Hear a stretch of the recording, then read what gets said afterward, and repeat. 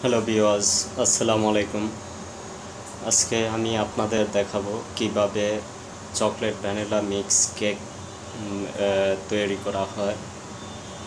তো আসুন, আমার যে যে উপকরণগুলো লাগবে, এখানে আমি সাজিয়ে রেখেছি। তো আমি এখানে তিনটি ডিম নিয়েছি, আর একটি স্পুনে টু স্পুন গুঁড়া দুধ। এবং এক কাপ চিনি, এক কাপ ময়দা two spoon cornflour sorry baking powder এবং হাফ কাপ কোকো পাউডার এবং এক কাপ অয়েল আর হলো ভ্যানিলা ফ্লেভার তো আমার এই এই উপকরণগুলো লাগবে। আমি এখন সবগুলা এক, একটি পাত্রের মধ্যে মিক্স করব। তো প্রথমে আমি ডিমটি ভেঙে স্টিলের বাটিতে নিলাম। ডিমগুলা এমনভাবে ভাঙতে হবে যাতে করে ডিমের খোসা না পড়ে। তো বন্ধুরা ডিমটা ভাঙার পরে আবার ডিমটা ভালো করে ফেটতে হবে। যত পেটা ভালো হবে, তত মনে করেন যে আমার কেকটা ভালো হবে। এটা আসলে ইলেকট্রিক মেশিন দিয়ে মেশিনের সাহায্যে ফেটা হয়। কিন্তু আমি এখন হাতেই ফেটে নিলাম। এখন সুগার দিয়ে দিব, চিনিটা দিয়ে দিব। চিনিটা খুব ভালোভাবে মিক্স করতে হবে যাতে করে দানা দানা না থাকে। আমার চিনিটা মিক্স হয়ে গেল। স্বাদ মতো লবণ দিয়ে দিলাম, এক চিমটি লবণ। লবণ না দিলে আসলে কোনো খাবারের টেস্টি হয় না, তাই লবণটা দিয়ে দিলাম।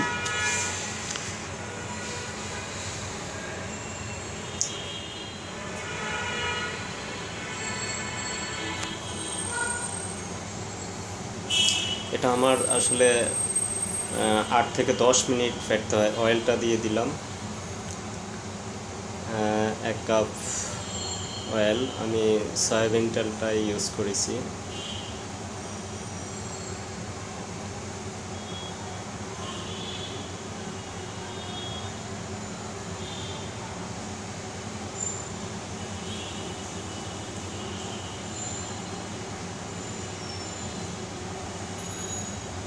তো বন্ধুরা, আমি এখন ময়দাটা দিয়ে দিব। ময়দাটা উপর থেকে এভাবে ডালতে হবে আর মিক্স করতে হবে যাতে করে পুরাটা ভালো মতো ভালোভাবে মিক্স হয়। আমার এই মিক্সারটা যত ভালো হবে, আমার কেকটাও তত ভালো হবে। মিক্সারটার উপর ডিপেন্ড করে কেকটা আপনার কেমন হবে। তাই মিক্সারটা মিক্স করতে হবে অনেক ভালোভাবে। গুঁড়া দুধ দিয়ে দিলাম।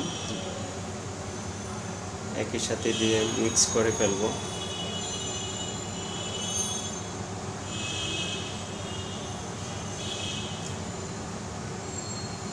বেকিং পাউডার দিব, দিয়ে দিলাম।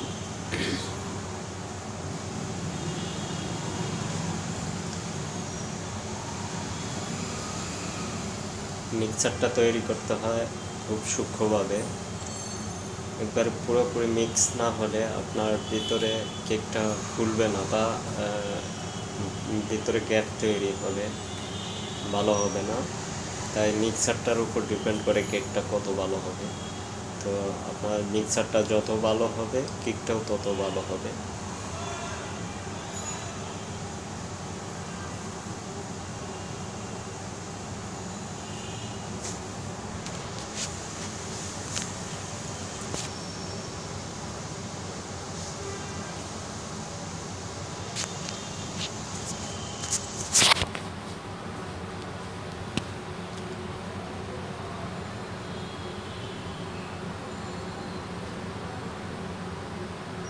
ভ্যানিলা ফ্লেভারটা দিয়ে দিব। এটা ফ্লেভারটা ভালো করে মিক্স করতে হবে। আসলে ফ্লেভারটা দিলে একটা সুগন্ধ হয় মানে কেকের একটা গ্রান আসে, অনেক ভালো গ্রান আর আপনার আপনার যদি ভ্যানিলা ফ্লেভারটা ইউজ না করি, তাহলে কাঁচা ডিমের গন্ধ আসবে, তাই ফ্লেভারটা ইউজ করাই উত্তম।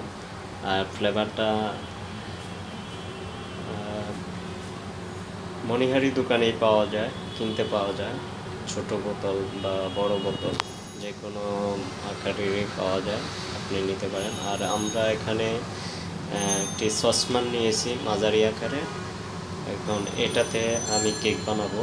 তো নিচে আমি অয়েল দিয়ে একটা কাগজ দিয়ে দিচ্ছি পাতলা কাগজ। এটা গোল করে কেটে, তলা অনুপাতে কেটে ওটা দিয়ে দিয়েছি।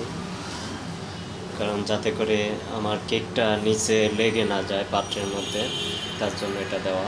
তো আমি ভ্যানিলা মিক্সটা দিয়ে দি আমার কেকের মিক্সারটা দিয়ে দিচ্ছি। হাফ দিব এখানে আর হাফটা দিব হলো কোকো পাউডার মিক্স করে। তো উপর থেকে ডালতে হয় এইভাবে, যাতে করে চতুর্দিকে ভালোভাবে ছড়ায় এবং ফাঁকা না থাকে।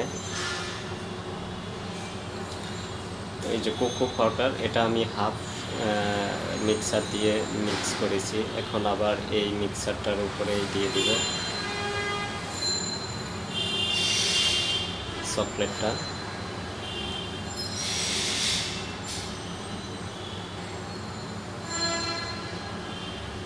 এই যে বন্ধুরা, আমার মিক্সারটা হয়ে গেছে। মিক্সারটা দেওয়ার পরে দুইটা জাকি দিতে হবে ভালোভাবে। নিচে ঝাঁকি দেওয়ার কারণ হলো যাতে স্রোতের দিকে ভালোভাবে এটা ছড়ায় এবং ঠিকঠাক মতো থাকে, কোনো গ্যাপ যাতে না থাকে। গ্যাপ থাকলে ফিল আপ হয়ে যাবে। যে আমি আগে থেকে গ্যাসের চুলায় তাওয়ার উপরে বালি দিয়ে রেখেছিলাম গরম করে। তো এখন এই সসমানটা আমি এই বালির উপরে দিয়ে দিছি গরম বালির উপরে এবং ডেকে দিয়েছি যাতে করে যাতে করে তাপটা না বের হতে পারে। এবং আমার তিরিশ মিনিট ওয়েট করার পর আমার কেকটা হয়ে গেছে। এখন আমি টুথপিক দিয়ে দেখতেছি আসলে আমার কেকটা হয়েছে কি না টুথপিকের মধ্যে যদি কিছু লেগে থাকে তাহলে বোঝা যাবে যে কেকটা হয় না তা আমারটার মধ্যে লেগে নেই, অবশ্যই কেকটা হয়ে গেছে। তো বন্ধুরা দেখলেন তো কত সহজে আমি কেকটা তৈরি করে ফেললাম। এখন আমি একটা নাইফ দিয়ে এভাবে চতুর্দিক দিক থেকে ছুট সারিয়ে নিব। নিয়ে কেকটা একটা পাত্রেতে রাখব।